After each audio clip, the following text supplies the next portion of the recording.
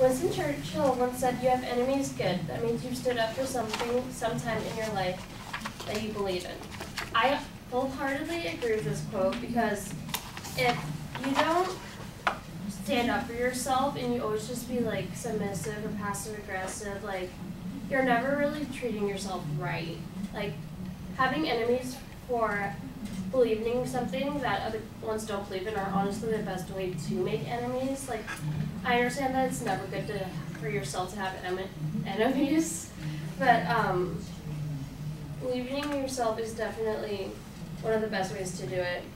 So a personal example of this um, is my um, back in high school. I was one of the cheerleaders, and we had a guy cheerleader on our team and he'd always get like bullied and stuff because he's a guy cheerleader. Everybody would like call him gay and everything, which is just like very disgusting and like so like upsetting, you know.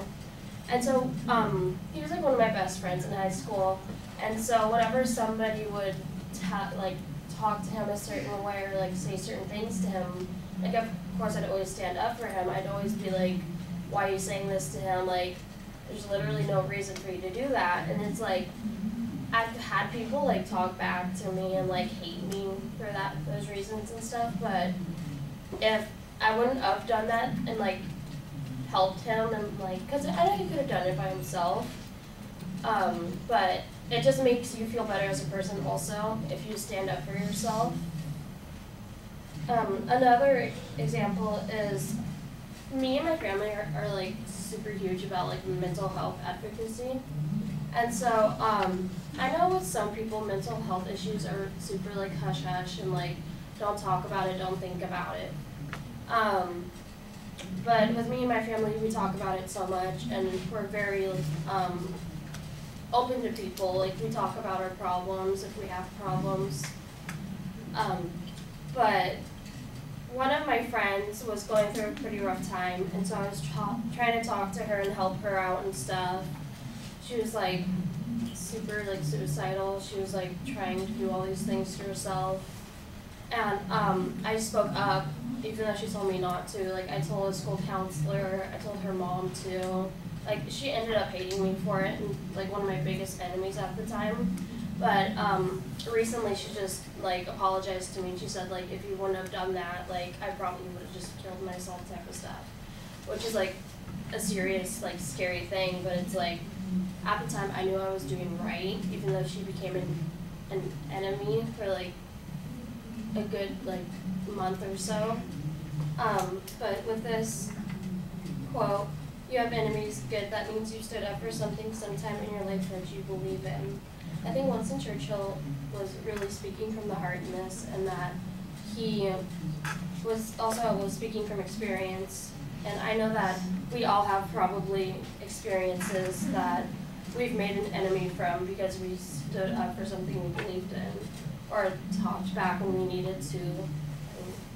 So, in conclusion, I think Winston Churchill is very agreeable with this quote.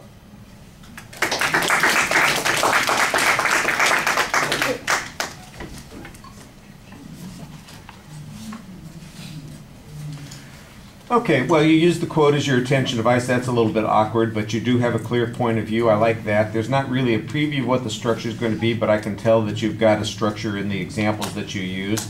Uh, you've got two good examples that you use, both of them related to experiences that you had in high school. They're pretty effective. Um, it's easy to hear you when you're speaking. You have a tendency to look down at the topic a lot, and when you aren't looking at the topic, uh, the corners and the floor are your favorite places to look. You want to be talking to us a little bit more. You've stood as far back as you possibly can. You know, if you could get on the other side of the wall, it looks like you would probably be doing that. Come on, step up and engage us a little bit more. I, the, you, I, you, if I'm just listening to you, you're doing pretty good. But every time I look at you, you, you kind of undermine that because you you look less confident and less certain than you sound, which is we want those things to be complementary sorts of things, and that's a little bit of a problem. Uh, the summary was okay at the end of the speech. Uh, you kind of remind us the point that you're getting to, and that's always a good way to finish off. So, um, you know, you've got that one taken care of now. and We've got that behind us. Thank you.